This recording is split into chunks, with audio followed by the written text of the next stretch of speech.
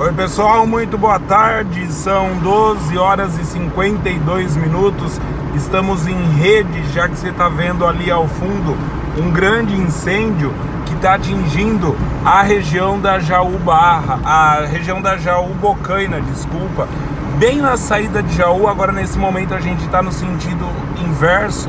Bocaina, Jaú, a gente já vê resgate da concessionária passando por aqui, a gente já vê, por exemplo, é, também caminhões de usinas da região, ó. Só para se ter uma ideia, na volta, essa é a visão que se tem do incêndio.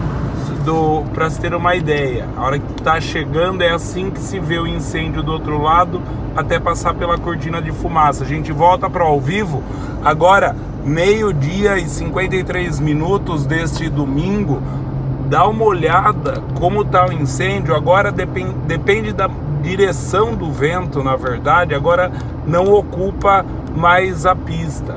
Mas o incêndio é grande o suficiente para quando tem mudança do vento, até agora há pouco, por exemplo, é, todas as quatro faixas aqui da Jaubocaina eram tomadas pelo, pelo incêndio. E nesse momento, graças à mudança de direção do vento, a gente vê aí o incêndio foi para o outro lado. A pista está em uma via parcialmente interditada.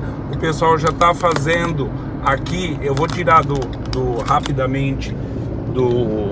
Aí está o incêndio. Tirei rapidamente do, do suporte do carro. Mas eu estou de passageiro antes que Olha o tamanho do incêndio, essa área toda queimada já.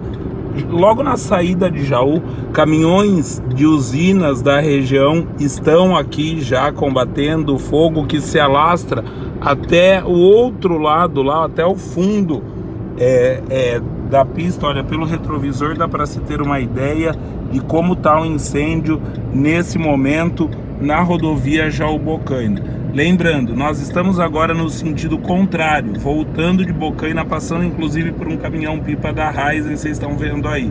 O incêndio dá para ser visto de todos os cantos da cidade. Você aqui de Jaú, de Bocaina, de Bariri, é, saiu, olhou para o céu, vai ver esse incêndio e volto a mostrar. A hora que a gente estava indo é, em direção Bocaina, olha como estava o incêndio, passando por toda a pista, é, não tinha jeito, por cerca de 50 metros aproximadamente, o fogo ficava tomando, ficou tomando conta é, da, da, das quatro faixas. Ó, a gente está usando imagem recuperada agora nesse momento para que você veja é o que eu estou falando, que era o, a, a fumaça, na verdade, tomando conta das quatro vias.